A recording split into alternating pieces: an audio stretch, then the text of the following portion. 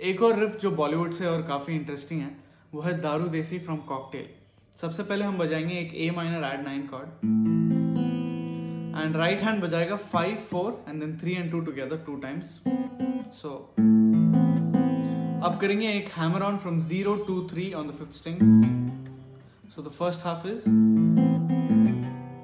and now for the second half we'll go to a B minus 7 flat 5 chord. Same thing on the right hand, 5, 4 and then 3 and 2 together two times. अब करेंगे एक pull off from the second fret fifth string to the 0 and the 6th string open. The whole riff put together sounds like this.